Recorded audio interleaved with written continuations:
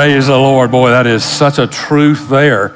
There is no one like our God. Out of all of the belief systems, and I know I've said this to you a, couple of times over the last few weeks, out of all the belief systems in the world, uh, including every religion and every cult that, that is out there, uh, our God is the only God that moves with compassion and concern and sympathy and love.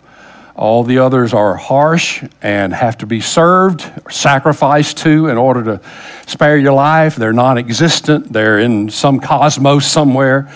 But only Jehovah God, only our God, only the God of the Bible is the only God that moves mercifully on people and with compassion and personally in our lives. So there is no other God even if you think there's one, there's no other God like our God. How many, uh, you know, uh, years ago, up until the last, oh gosh, man, what, uh, 10 years or so where things, Bible uh, apps have become so popular. And, you know, I mean, I know they existed before 10 years ago, but nowadays in church, uh, hardly anybody ever carries a Bible with them. Is there anybody in the building with a Bible in your now that you're looking at? And I mean, I, I mean a book. you know, that that thing they used to call a book. You know, it has pages in it that you turn. That old timey thing. Um, of course, that's what, what I grew up with, and up until about 10 years ago, anytime you started a message, you would say, All right, everybody, turn with me to the book of Esther, or whatever book it would be. And I wish that we all had Bibles today because I would say, turn with me to the book of Esther. So I could watch all of you struggle to try to find the book of Esther. Uh, it's not one of those books that a lot of people read, but it is the greatest book, guys. It's the most interesting things that you can imagine. It, God's name is not mentioned one time in the entire book. But yet you can't read it, and you'll see, because we'll, we'll read a good bit of uh, passages from different places in it, without seeing God's footprints just all over the book. The only time that you even come close to God being mentioned is when the people were going to pray and fast and pray for something. But uh, it never mentions or has any allusion to God uh, saving them or anything like that. So it's just interesting that I, uh, most people are not aware that there is a book in the Bible that does not even mention the name of God, and this is it, the book of Esther. Uh, if it helps you, it's right before the book of Job. So that ought to help you know where it is. It's right there on that screen. It's easy to find, isn't it? Just type in. Um, but anyway, man, people used to when they would, this is the way people would, would do. Uh, they had the Bible on it out, and you'd say, a passage. And if they didn't know where it was, most of the time people were too embarrassed to look in the table of contents because heaven knows if you don't know where every book in the Bible is, you are not spiritual whatsoever. So we couldn't have, and if you look in the table of contents, it sure means you don't know where it is. So what would happen is people would, uh, they'd look at their neighbor and see about how many pages they had turned on one side, and then they'd kind of turn about like that and try to hope it got there. But if it didn't, they didn't do it again. They just let it stay in wherever it was open to and just acted like they were reading it right along with everybody else. That's one of the reasons why I like to put the words up on the screen because. Um, it, it, means everybody can see them at the same time, and we're not all here fumbling around trying to find them and look at them. Because I do, I do believe that it matters that you see the word. It, it impacts me more when I see it and hear it, obviously, than if I just hear it, because sometimes it's just seeing that and, and you see something there that the Holy Spirit you know, wants you to see that might be highlighted for you in your heart, it just pops up. And but for all of us, we've just gone on, you know. And but for you, you see something, and I know that's the way the Lord speaks through His Word many times. So I want to I want to talk about the Book of Esther because the Book of Esther is a book of assurance. It, it assures us that God is ultimately in control of everything, and that even though it looks like evil is winning, evil always gets its comeuppance. And God always protects his people like he said he would. And that even though things might look terribly bad and it looks like the strategies of the Satan are working in every way, and it seems like every imagination of evil is prospering and moving forward, and that we're getting damaged and hurt by it, that you can always count on God to keep His word. And His word is that He's going to protect us. There's a passage, and I have it on a t shirt, and I'm going to make some more of these t shirts because uh, I can't find any more of them. And every time I wear, I've got two or three that are thread threadbare. They've been worn so much. And every time I wear them, wherever it is, grocery store, wherever it might be, somebody says, "Man, I like that shirt." Because on the front it says Isaiah, it says Isaiah 54 right down here, verse 17. And then on the front it says, No weapon formed against me shall prosper. And then on the back it says, God's got my back. That's what verse uh, Isaiah says in Isaiah 54. This is, uh, this is about 600 years before Jesus is born. Here's what Isaiah the prophet said to all of us for us to receive Verse 16, Isaiah 54, verse 16 Behold, I have created the blacksmith who blows the coals in the fire, who brings forth an instrument for his work, and I have created the spoiler. Everybody say destroyer. That's what he's talking about. I've created the destroyer, and his job is to destroy. So God is just telling you, he, you know, good things and bad things. He's, he's the creator of all of that stuff. Now, here's verse 17, very next verse. No weapon formed against you shall prosper and every tongue which rises against you in judgment, you shall condemn. This is the heritage of the servants of the Lord, and their righteousness is from me, says the Lord. So the book of Esther is about the Lord keeping that promise about no weapon formed against us will prosper because the Lord has our back and he's going to put down those things that come against us. And so in the book of Esther, we see a man, and it's a, it's a story of a man who ends up being hung in his own, in, in the noose that he's prepared uh, for someone else. So let's just jump in, and I want to jump in in chapter 3 uh, of, of the book of Esther, and let's read the first couple of verses or so. After these things, King Ahasuerus, which is, historians tell us is, is Xerxes the first of Persia, it doesn't really matter. Uh, after these things, King Ahasuerus promoted Haman, the son of Hammedatha the Agagite, and advanced him and set his seat above all the princes who were with him. And all the king's servants who were within the king's gate bowed and paid homage to Haman, for so the king had commanded concerning him. But Mordecai would not bow or pay homage. Verse 10 so the king took his signet ring from his hand and gave it to Haman, the son of Hammedatha the Agagite, the enemy of the Jews. So Haman is going to be the vi- villain of this whole story, obviously, and I think you could probably tell that. He hates the Jews, so he is the enemy of God's chosen people. You remember, God made a covenant with Abraham, and the Jewish people became his people, his covenant people. And Haman hates them, and so he not only hates God's people, but he also, in effect, uh, hates God. And he is identified as an Agagite. And I, the only thing I want you to remember about that is some of you might, some of you Bible students may remember that uh, King Saul was told by Samuel the prophet to go and kill King Agag. Agag was the, was the king of the Edomites, which came from uh, from Esau. And the Bible says, God said, I am in perpetual battle against Esau. So Samuel the prophet told Saul, All right, go down there and kill King Agag and all of his stuff. Don't bring anything back with you. Not, don't bring any of his animals or anything, children, anything. Just, just kill everything. When, Sam, and when Saul, uh, Saul got back, uh, Samuel said, Did you do what God said? And Samuel said, I sure did. And Samuel says, Well, what is that bleating of the sheep I hear and the lowing of those cattle? In other words, if you did everything God said, why did you bring some of those animals back with you? And then Saul starts stuttering about uh, he did it, he wanted to sacrifice to God, and blah, blah, blah. Well, he also brought King Agag back, chained to the chariot wheel. And that ended up being a gigantic mess. And as a matter of fact, it was King Agag and his descendants that, that actually killed Saul later uh, with an arrow that they just shot in the air and it went, pierced his armor. But anyway, j- just to say that um, that's who uh, Haman is. He's of that descendants, all right.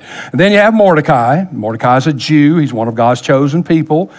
Um, uh, and, and so in the book, you, you're seeing a conflict between Haman and Mordecai which is more than just a conflict between Haman and Mordecai. Obviously, it's symbolic of, a, of the conflict between heaven and hell, between uh, light and darkness, between God and Satan. And, and of course, we find ourselves in the middle of this conflict because just like Mordecai, just like these people that were God's people, we find ourselves today in conflict with all kinds of satanically inspired people and drama in our life. And we find ourselves really in the midst of, of a time where um, evil is coming against us on every hand, especially against Christians. But you don't even have to be a Christian. If you're just a moral person, if you're, if you're a person that just believes that something is right and something is wrong, that you just have some values of any kind, this world and these, and these enemies that are inspired by evil, is the only thing, way you can put it, they're coming against us on every hand, and it seems more and more each day. Uh, so here, here we are. We're in the midst of this conflict. We're the Mordecais of life. We have many Hamans around, and we've got to pay attention to the battle that we're being called to because sometimes we underestimate our enemy and we get hurt because we underestimate our enemy. I heard of a man uh, had a dog. I had a dog, and the dog was always fighting with other dogs, but he was always getting whipped, beat up, torn up. And one of the guy's friends says, "Man, your dog's not much of a fighter, is he?" And the guy said, "Well, he's a pretty good fighter. He's just not a good. He's just not a good judge of dogs." And you know, you have to. You can't underestimate your enemies. It, you know, it does matter uh, that you recognize them and that you know who to come against and how to come against and so forth. So here it is. Let me introduce to you now the book of Esther. And we're going to I'm going to introduce to you Haman so that you can see him. And I'll guarantee you as we look at Haman today, you're not going to be able to look at him and not think of these current things that are happening today and some of the people that are involved that we see all the time. This is a good characterization. And I, I just want to tell you that God's trying to encourage us that He's in control. All right, so here we go. Let's just meet Haman. All right, and, and I'm going to, of course, they're all alliterated because that's what I do. And so we meet haughty Haman. I mean, some preacher habits die hard, right? All right, all right, so we meet him, we meet Haman, haughty Haman. All right, let's see. Uh, Esther chapter 3, verse 2. And all the king's servants who were within the king's gate bound and paid homage to Haman.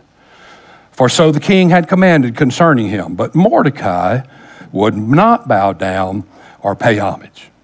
So here's Haman. Haman loves to be praised.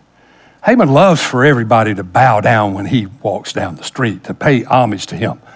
Well, after all, he's really a pretty big deal because it says that he's been promoted by the king to a really high political position. He's probably something like the like prime minister of this big country. This country that they're in, by the way, goes all the way from India to Ethiopia at that time, uh, about 450 years before Jesus. So, I mean, that's, that's, a, that's a large land. So he, he really was a pretty big shot in this government thing. And when he was out walking his wife's poodle, he, you know, he loved for people to approach him and, you know, oh, Mr. Haman, oh, yes, it's a good day, sir, good day, sir. And, and he loved that. And the one thing that galled him was someone who would not do that. And here was Mordecai. Mordecai uh, picked pricked his pride, dented his dignity, or whatever word you want to use for it. So Haman makes up his mind that he's going to have to do something about this one little fly in the ointment, this, this Mordecai. So here's Haman in his haughtiness, in his strut, in his pride, uh, as a picture of Satan and all of Satan inspired people that we can so easily see. And remember now, it's pride that, uh, that caused the fall. In the book of Isaiah, chapter 14, Isaiah the prophet tells us that Lucifer was one of God's angels until pride was found in him. And he said, I'll exalt my throne above God. I'll, I'll, I'll rise above everything that's called to God. All the angels will fall down and worship me. And of course, that got Lucifer kicked out of heaven. So pride was the, the original sin, actually. And also remember that pride is one of the major tools that, that the devil uses to send people to hell.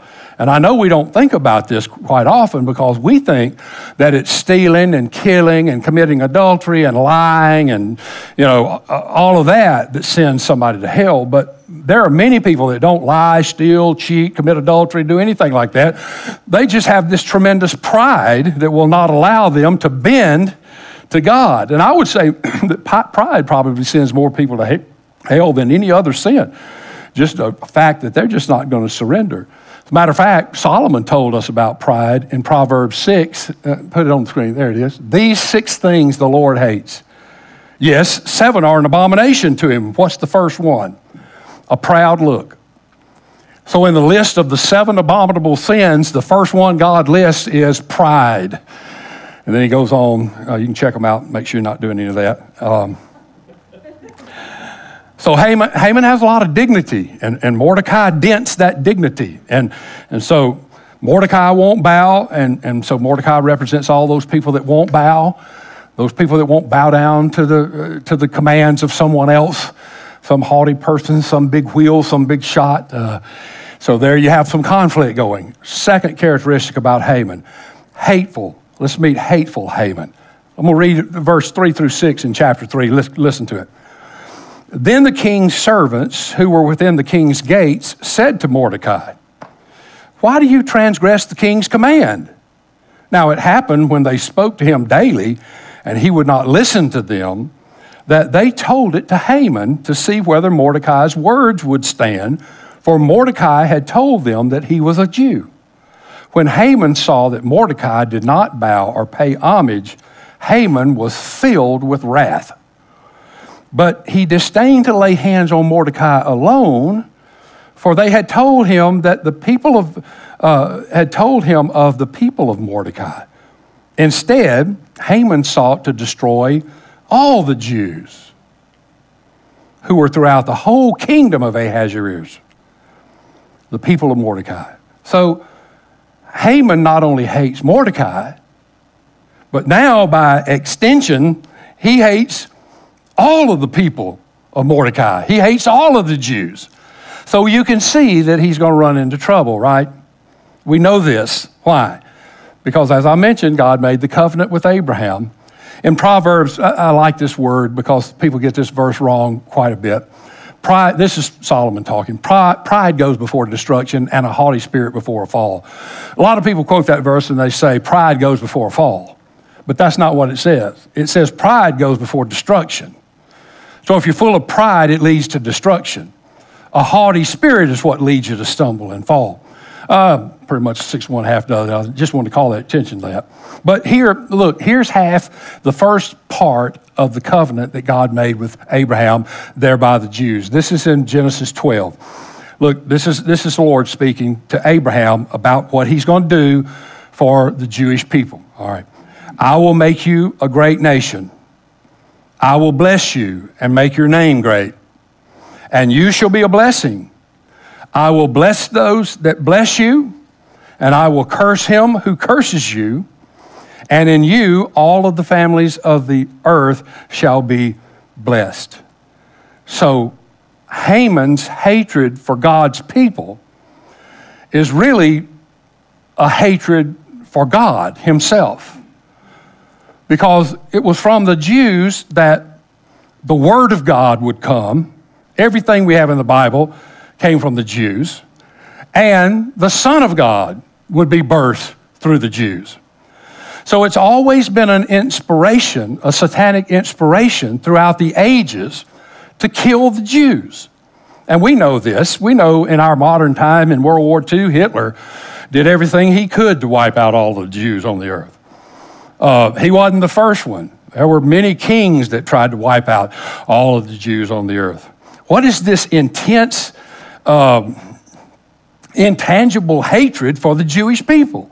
Why is it that today, as I'm speaking to you, this very day, that there are people all over the East that basically want to kill every Jew that they can possibly see, and there is an intense hatred for them wherever they are. Well, it's a satanically inspired deal because God loves them. So it's really a hatred for God. Well, then in verse 9, uh, he, uh, Haman comes up with a plan, and here it is. Verse 9 If it pleases the king, let a decree be written that they be destroyed. And I'll pay 10,000 talents of silver into the hands of those who do the work to bring it into the king's treasuries. So Haman says, I'm going to tell you, King, look, we're going to get, we need to get rid of all the Jews. And I'm gonna, here's what I'm going to do I'm going to spend my own money on this. Uh, let's put a bounty. Let's put a bounty on them. Say, you kill a Jew, you get $100. And, and I'll pay all the money that we have to pay these bounties myself, personally. I'll put my money. Uh, some biblical historians say that this, this was most likely millions of dollars. It's, it's a lot. It, it's a, uh, I think it said 10,000 talents of silver. I mean, that's a lot of money. So, anyway, uh, here's Haman, uh, who is so full of hatred and, and vengeance that he's willing to uh, put up his own money and, and, and, and, let's, let's declare open season on, these, on the Jews and let's get rid of them. And of course, we understand that uh, we're not Jewish people and we didn't take the place of Jewish people, by the way. There are some theologies that say, some Christian theologies that say uh, that when Jesus came and the Jews rejected him, that and we received him, that we took over their covenant with God, and thereby we are the modern day nation of Israel, so to speak. But that's not true. God still has a covenant with Israel, and He's still keeping His covenant with Israel. And they have everything to do with what's happening now and what's happening into the future. It's just an amazing thing. But, but we recognize, because we are God's people, that this is also pertaining to us, because we remember that, that the scripture tells us that all of us who live godly in Christ Jesus are going to suffer persecution. I mean, that, that, that's kind of our, our lot in life. If you belong to Christ, this world is not going to honor you. Why? Because they didn't honor him. And Jesus said, A servant is not better than his master. If they hated me, they're going to hate you. And so our problem is that we are twice born people in a world full of once born people. And we try to live godly in, in, in Christ Jesus, and we march to the beat of a different drummer. Our whole life is different. We start at a different source, we follow a different course, and we, and we are moved by a different force. And we're contrary to this world, and our thinking is contrary to this world. And so it's very easy to become a mark in this world. As a matter of fact, I was talking with someone this past week about some of these mandates that are being poured upon us, and especially upon government people for, you know, you're going to have to get the vaccine or you're going to lose your job. It's mandated that you have the vaccine. Well, there are a lot of people who have objections to that. Not only, I mean, not, not only because they don't think anybody ought to be able to tell them that. That's the American coming out in you, by the way. I don't know if you, you know that. We Americans have that kind of nature where we say, You're not telling me what to do, kind of deal. But it's not just that. Some people have uh, real objections. They have some, uh, some uh, religious objections, some physical objections, all kind of objections. And this person was telling me that, uh, that their business was requiring this and that uh, the only way that you could get out of it was to have a religious objection. And so you had to fill out a form and, and, and talk about your religious objection to this.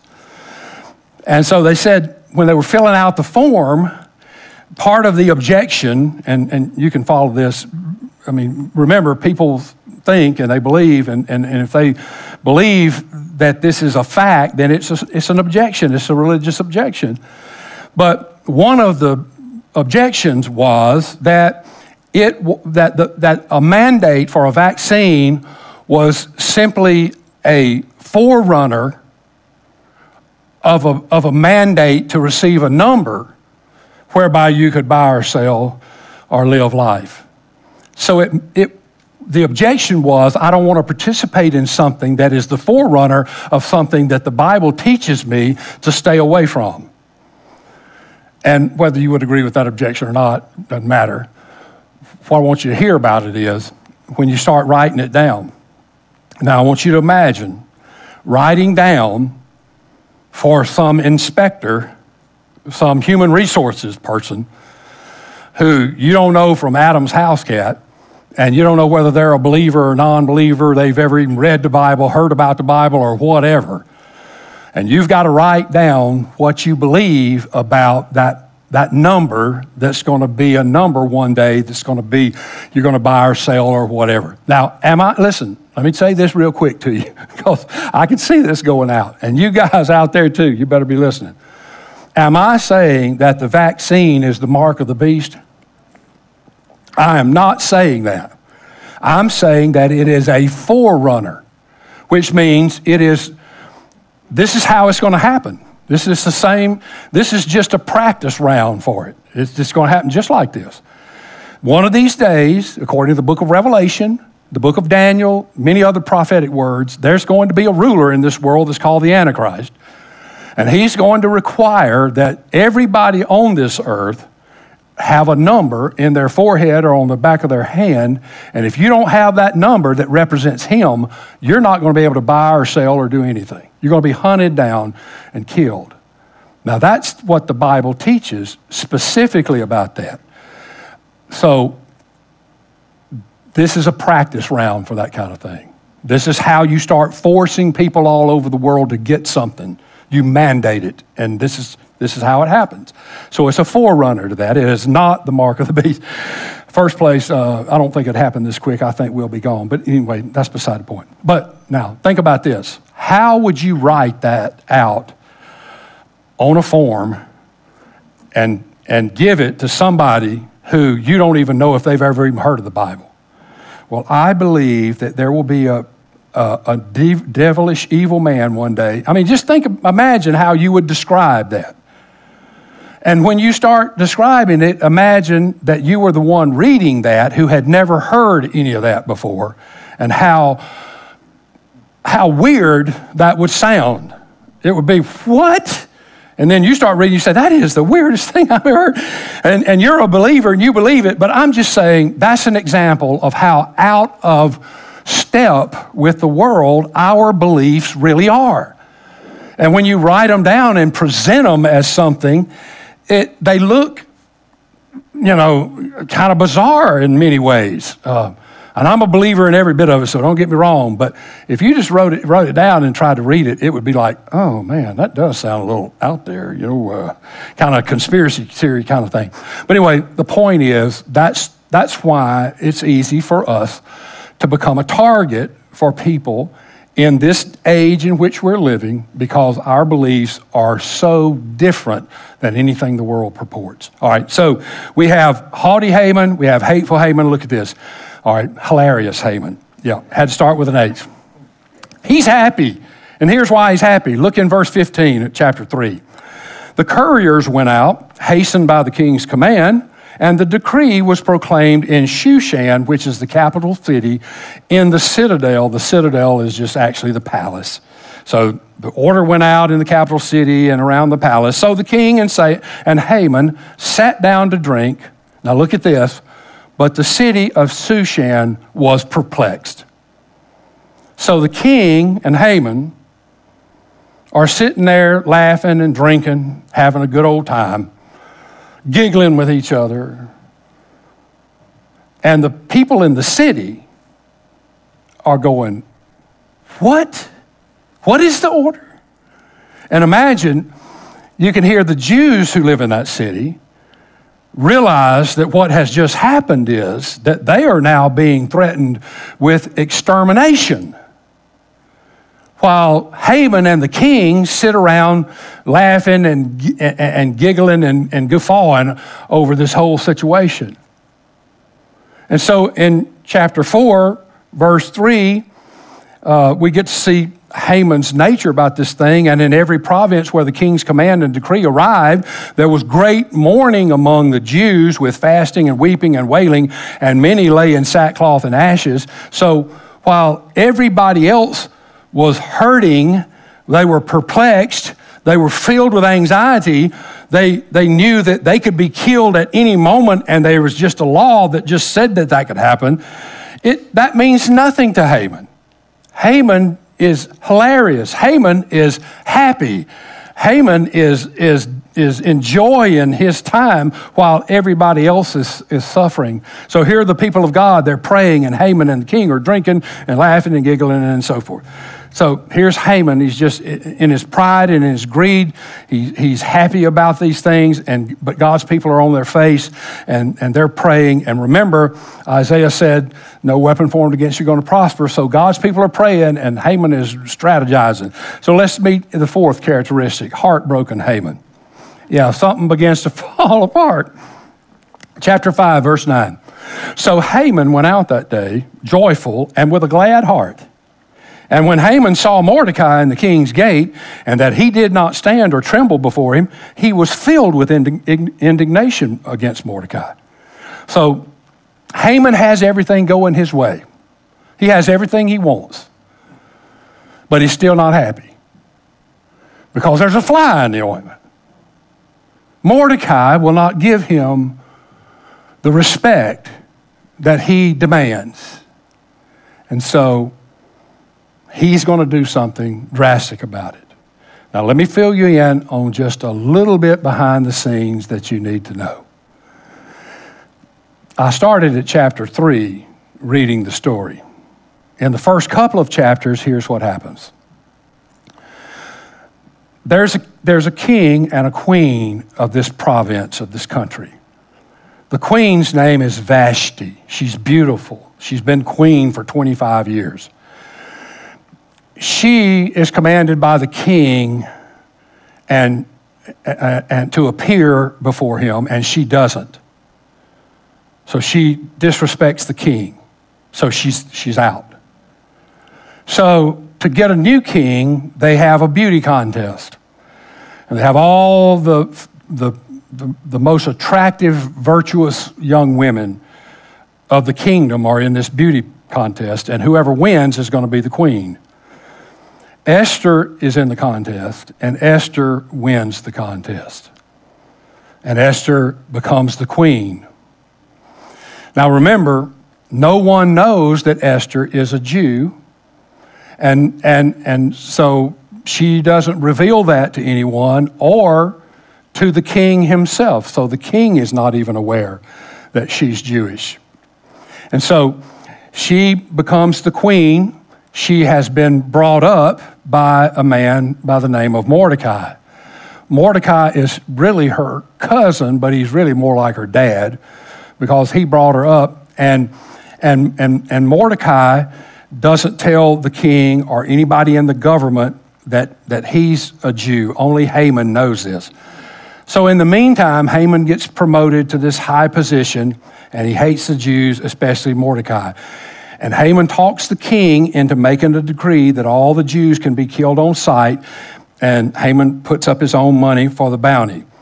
Now, Mordecai goes to Esther.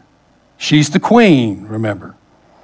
And he says to her, You need to go to the king and tell him that you're Jewish and that this law that's, that, that's just been signed is going to kill you and your people. And Esther says to Mordecai, I'm, I'm afraid to do that because the king has not called for me. And the law was if, if the king didn't call for you, you didn't go to the king. If you went to the king and were not called, you better hope that he's pleased with that and that he holds out his golden scepter and receives you well. If he doesn't, you're history. So she says, I'm, you know, it's been 30 days and I haven't even been before the king. I haven't even seen the king in 30 days. And so Mordecai says, Well, you, if you don't do this, this is going to be a, a terrible thing for all of us. Let, let me just read it to you, chapter 4, verse 13. And Mordecai told them to answer Esther Do not think in your heart that you will escape in the king's palace any more than all the other Jews. For if you remain completely silent at this time, relief and deliverance will arise for the Jews from another place, but you and your father's house will perish. And here's that famous quote out of the book of Esther Yet, who knows whether you've come into the kingdom for such a time as this? Then Esther told them to reply to Mordecai Gather all of the Jews who are present in, in uh, uh, Shushan and fast for me. Neither eat nor drink for three days, night or day. My maids and I will fast likewise. And so I will go to the king, which is against the law. And if I perish, I perish. So Esther goes before the king. And when she goes before the king, he's happy. He sees her and he says, Is that you, Queen Esther? And he holds out the golden scepter. He said, Come, come.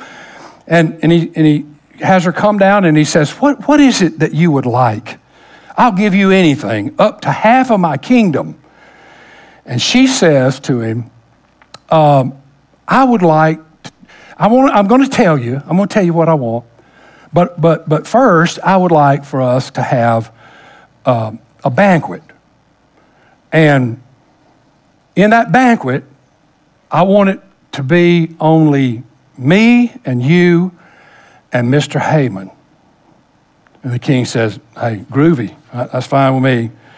And so everything's good for Haman now, except verse 9, chapter 5. Look at it. So Haman went out that day joyful and with a glad heart. But when Haman saw Mordecai in the king's gate, and that he did not stand or tremble before him, he was filled with indignation against Mordecai. Nevertheless, Haman restrained himself and went home. And he sent and he called for his friends and his wife Zeresh. Then Haman told them of this great, of his great riches. Um, he's just bragging about his riches. You can see, just he's so full of himself and pride. Then Haman told them of his great riches, the multitude of his children, everything in which the king had promoted him, and how he had advanced him above all the officials and servants of the king.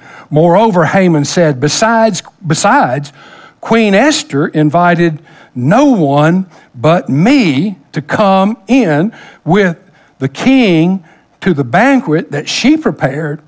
And tomorrow, I am again invited by her along with the king. Yet all this avails me nothing so long as I see Mordecai, the Jew, sitting at the king's gate. So he's invited to the party. They're there. Everything's going good. The king, they're happy. Esther's talking to him. They're all, you know, dinner party and all this stuff and, and smoozing and politicizing and all of that and everything goes good. And the king says, All right, all right, uh, Queen Esther, what is it that you would like? You said you would tell us tonight what you would like. And she said, Well, wait, let's do this one more time. Let's do it tomorrow night again. And then I'll tell you tomorrow night. Let's just have one more of these parties. So here goes Haman, and he's home, and he tells everybody, I'm going to another party tonight. So Haman is heartbroken because Mordecai still disrespecting him, and so his wife, Zeresh, makes an awful suggestion. Look in verse 14. Then his wife, Zeresh, and all his friends said to him, Let a gallows be made 50 cubits high. That's 75 feet, by the way. That's a high hangman's noose there, isn't it? 75 feet high. And in the morning suggested the king that Mordecai be hanged on it. Then go merrily with the king to the banquet. And the thing pleased Haman, so he had the gallows made. So out there in his yard now, Haman has built gallows to hang Mordecai on 75 feet high right out there beside his house. So thus far we've seen haughty Haman, hateful Haman, hilarious Haman, heartbroken Haman. I mean, sin never satisfies, right? No matter how much you get, it never satisfies. It's always going to be more. I mean, don't think the current state that we're in now, if it did get satisfied, anything that, that's being talked about, it wouldn't be enough. There, there would be something else immediately. Now, we're going to meet humiliated Haman. Uh, remember, God's people are praying, and, and Esther has, is telling them to fast and pray now. So God's people are praying, and now in Esther chapter 6, let's re- let me read this to you. That night, the king, now, now remember, they had a banquet. She said, let's have another one tomorrow night. Okay. So that during that night, here's what happens. That night the king could not sleep. So one was commanded to bring the book of the records of the chronicles, and they were read before the king. It's like a history of the kingdom. Stuff gets written in there that happens, and the king, unless he reads it, he, he might not even know that it happened. So he, he says, Man, I can't sleep. Uh, bring in the book of uh, uh, the history and read it to me. So, verse 2 And it was found written that Mordecai had told Bigthana and Teresh, two of the king's eunuchs, the door, that the doorkeepers uh, sought to lay hands on King Ahasuerus. So Mordecai reveals a plot that these two guys are going to try to kill the king. And he turns them in, and they get taken care of, and the king is not hurt. Well, the king doesn't know anything about that until now. Then the king said, verse 3 What honor of dignity has been, been, has been bestowed on Mordecai for this? And the king's servants who attended him said, Nothing has been done for him. So the king said, Who's in the court? In other words, look out there. Is anybody in the building out there? Anybody in the, in the courtyard out there? Of course. Who's out there? Haman. Why? He's coming to ask the king if he can hang Mordecai on those gallows he just had built. Who's out in the court? He says. Uh, uh, now, Haman had just entered the outer court of the king's palace to suggest that the king hang Mordecai on the gallows that he had prepared for him. The king's servants said to him, Haman's there, standing in the court. And the king said, Let him come in. So Haman came in, and the king asked him, What shall be done for the man whom the king delights to honor? Now Haman thought in his heart, Whom would the king delight to honor more than me? So, see, he thinks the king's asking him what should be done to honor him. This is, this is, this is how blind you can get now, full of pride, full of. And Haman answered the king, verse 7 For the man whom the king delights to honor, let a royal robe be brought, which the king has worn, and a horse on which the king has ridden, which has a royal crest placed on its head. Then let this robe and horse be delivered to the hand of one of the king's most noble princes, that he may array the man whom the king delights to honor. Then parade him on horseback through the city square and proclaim before him, Thus shall it be done for the man whom the king delights to honor. oh, devil, he always wants to be crowned and honored, doesn't he?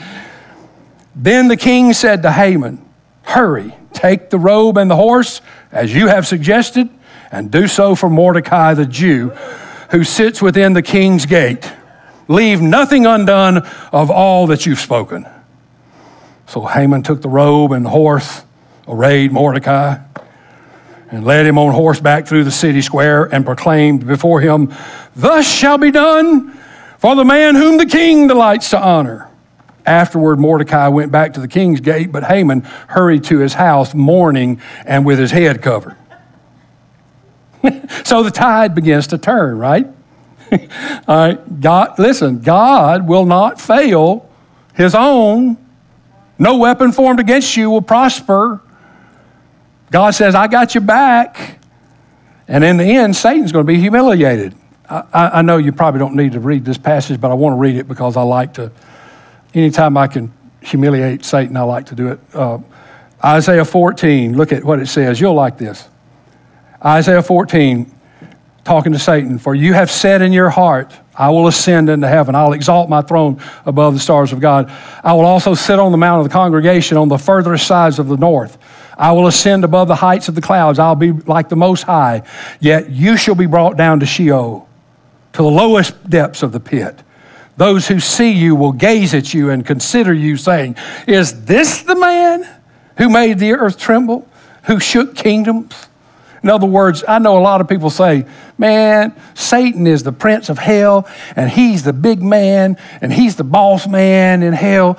And we, I, you know, I don't want to go to heaven with all of you little sissified, wing-ding Christians. I'd rather go to hell and party down there with the devil.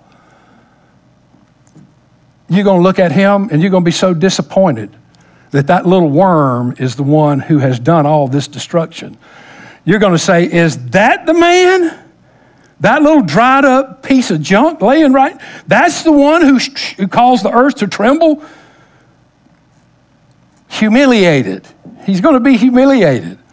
Uh, Revelation 20:10, just one verse. The devil who deceived them was cast into the lake of fire and brimstone where the beast and the false prophet are, and they will be tormented day and night forever and ever. That's his end. Haman's end, Satan's end, and all of those that follow Satan, their end will be to lose. You follow him, you know, you're a loser. One of our presidents, Woodrow Wilson, said, uh, famous quote, I would rather, see if I can get right, I would rather temporarily lose with a cause that will ultimately succeed than to succeed, temporarily succeed with a cause that will ultimately fail. And if you're on the devil's side, you're on the losing side. Of course, I know you all know that. All right, let's look at the last little characteristic. The, we, we call him hanging Haman. Did anybody guess that that was going to be the word? In your blank? Hanging Haman. All right, time for the second banquet now. Haman and the king, now remember, Haman and the king do not know that Esther is a Jew. All they know is that Mordecai has saved the king's life. So Haman, I'm sure, already has indigestion, but he's already accepted the invitation and it's too late to, to back out. So here it comes, chapter 7, verse 1. So the king and Haman went to dine with Queen Esther. And on the second day at the banquet of wine, the king again said to Esther, What is your petition, Queen Esther? It shall be granted for you. And what is your request? Up to half the kingdom it shall be done. Then Queen Esther answered and said, If I have found favor in your sight, O king, and if it pleases the king, let my life be given me at my petition, and my people at my request. For we have been sold, my people and I, to be destroyed, to be killed, and to be annihilated. Had we been sold as male and female slaves, I would have held my tongue, although the enemy could never compensate for the king's loss. So King Ahasuerus answered and said to Queen Esther, Who is he and where is he who would dare presume in his heart to do such a thing? And Esther said, The adversary and the enemy is this wicked Haman. So Haman was terrified before the king and queen. Ooh, a spider trapped in his own web. Then the king arose in his wrath from the banquet of wine and went into the palace garden. But Haman stood before Queen Esther, pleading for his life for he saw that evil was determined against him by the king. When the king returned from the palace garden to the place of the banquet of wine, Haman had fallen across the couch where Esther was. Then the king said, Will he also assault the queen while I'm in the house? In other words, the king comes back in and Haman's fallen across the couch, crying and weeping and begging for his life, and the king thinks he's assaulting Esther right there in his own house. As the word left the king's mouth, they covered Haman's face. You know it's not good for him. Now, Harbonah, one of the eunuchs, said to the king, Look, the gallows, 75 feet high, which Haman made for Mordecai, who spoke good on the king's behalf, is standing at the house of Haman. Then the king said, Hang him on it. So they hanged Haman on the gallows that he had prepared for Mordecai. Then the king's wrath subsided.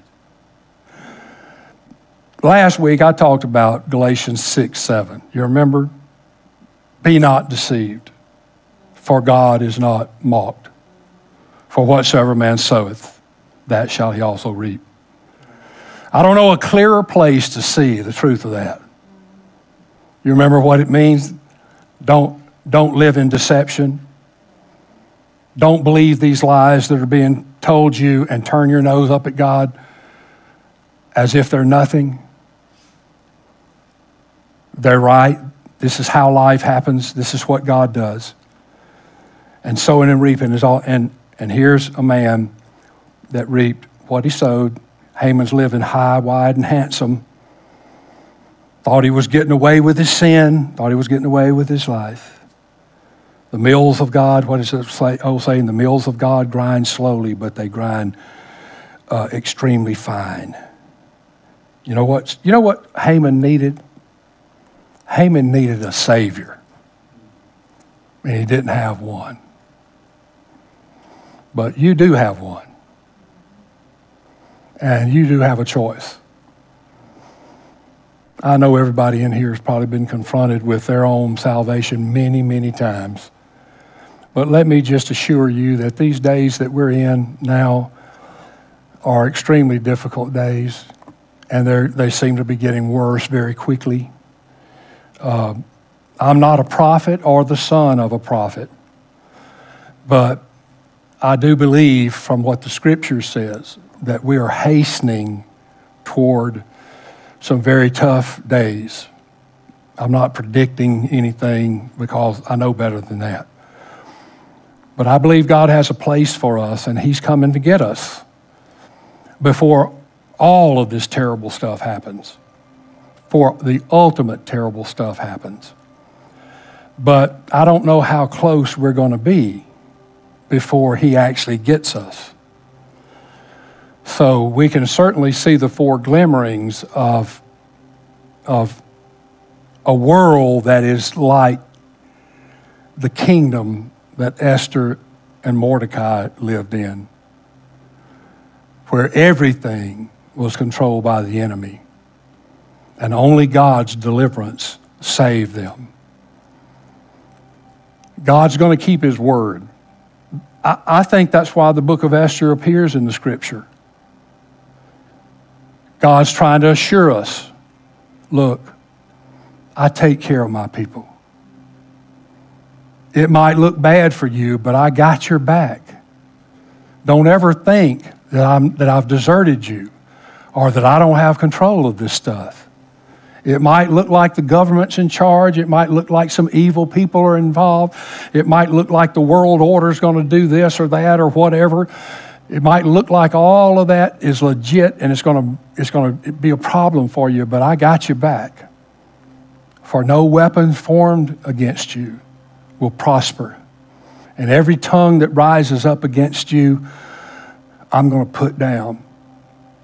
For this is the inheritance of the children of God. And I, the Lord, have spoken it. And I'll do what I say. So I just want you to be encouraged some. I mean, this is a light-hearted look at, a, at an interesting story with a tremendous drama in it. And who would have thought that's in the Bible? But there it is because God wants us to know this. So just bow your head with me one second.